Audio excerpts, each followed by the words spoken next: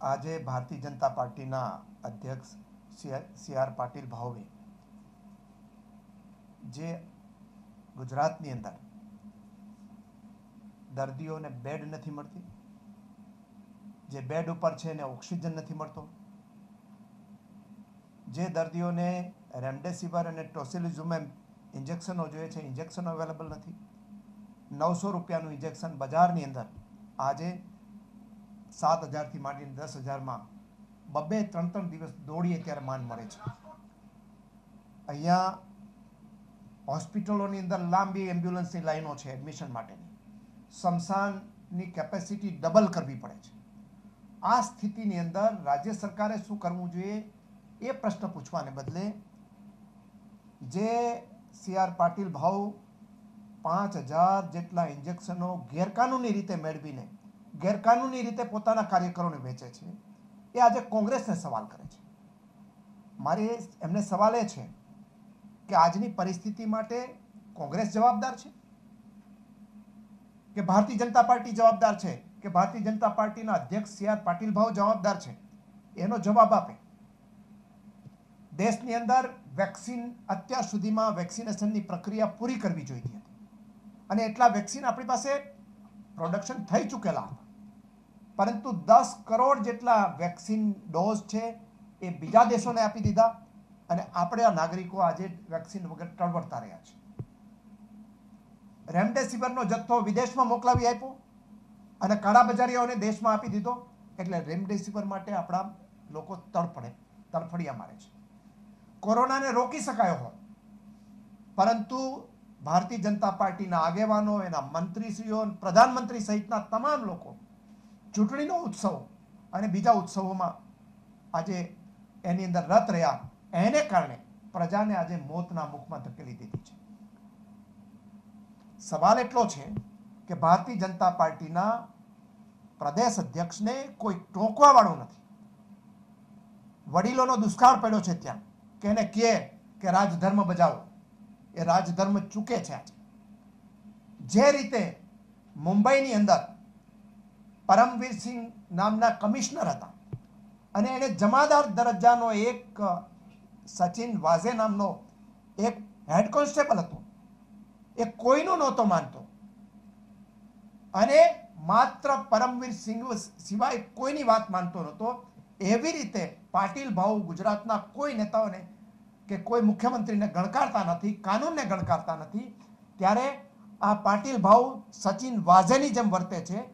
એ મારે એમને વિનંતી કરવાની છે કે આ સચિન વાઝેને એમના જે દિલ્હીમાં બેઠેલા પરમવીર સિંહો છે, એ એમને રોકે અને અવ્યવસ્થા કરવાનું ટાળે. એક બાજુથી એ પોતે એમ કહે છે કે ક્યાંય ઇન્જેક્શનો અવેલેબલ નથી, સરકાર પૂરા પાડી શકતી નથી, એટલે મારે બીજી જગ્યાએથી લઈને આપવા પડે છે. તો સરકારને કેમ ટોકતા નથી?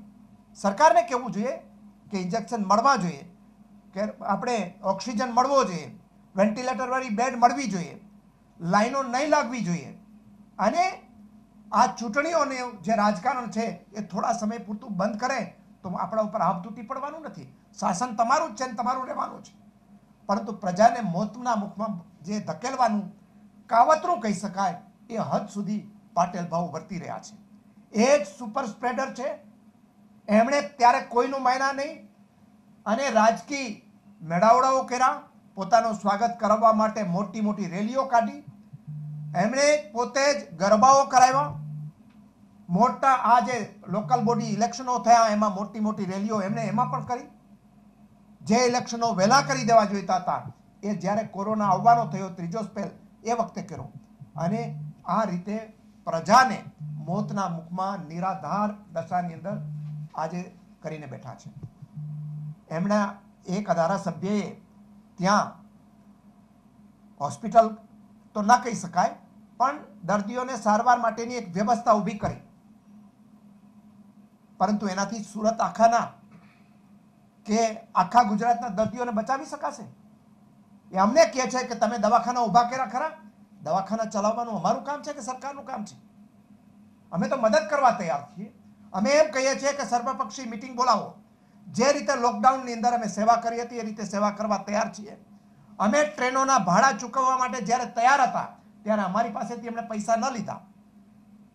અને એ ટિકિટો કાળા બજારની અંદર વેચવાનું કામ ભારતીય જનતા પાર્ટીના, સી આર પાટીલના અને તમામ લોકોના જે કાર્યકર્તાઓ હતા, એના વીડિયો વાયરલ થયા અને એની ધરપકડ કરવી પડી.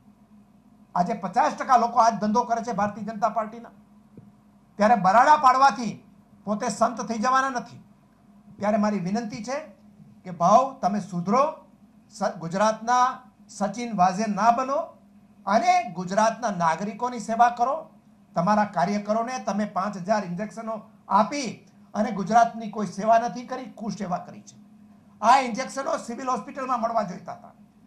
આ ઇન્જેક્શનો દરેક નાગરિકને, દરેક જે ફાર્માસ્યુટિકલની મેડિકલની દુકાન છે, ત્યાં મળવા જોઈતા હતા.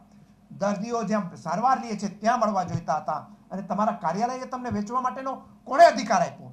ક્યાં તમારી પાસે પરવાનો છે? તમે ગુનો કર્યો છે અને આ સરકારમાં હિંમત હોય તો સી આર પાટીલની ધરપકડ કરી અને પૂરી દેવા જોઈએ. આવું કૃત્ય કરનારને લોકડાઉન વખતે જોયા વગરના કેટલા લોકોને પૂરી દીધા હતા? આ સરકારે. તો અત્યારે એમને કોણ રોકે છે?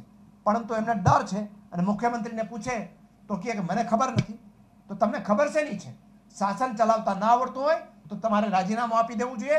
આ રીતે ગુજરાતની પ્રજાને મોતના મુખમાં ધકેલવાનો તમને કોઈ અધિકાર નથી. ત્યારે મારે જે દિલ્હીમાં આ ગુજરાતના સચિન વાઝે છે, એના જે આકાઓ પરમવીરસિંહ ત્યાં બેઠા છે, એમને વિનંતી છે કે મુંબઈની અંદર તો સચિન વાઝે જેલમાં બેઠા છે પરંતુ અહીંયાનો સચિન વાઝે છે, આખી સરકારને ડિક્ટેક્ટ કરે છે. અને પરમવીર સિંઘો ત્યાં દિલ્હીની અંદર બેસી અને તમાશો જોવે છે. મારી એમને વિનંતી છે કે તમારી આંખ ખોલો. ગુજરાતની અંદર સમસાન છે, એની કેપેસિટી ચાર પાંચ જણ ગણી કરવી પડે. હોસ્પિટલોની અંદર જગ્યા ન હોય કોઈ જગ્યાએ. ઇન્જેક્શનો ન હોય, ઓક્સિજન ન હોય, વેન્ટિલેટરો ન હોય. અને છતાં તમે એમ કહો છો કે સબ સલામત છે? કેવી રીતે સબ સલામત છે? જરાક તો આંખ ખોલો. ગુજરાતમાંથી તમને ખોબે ને ખોબે ગુજરાતની જનતાએ મત આપ્યા છે.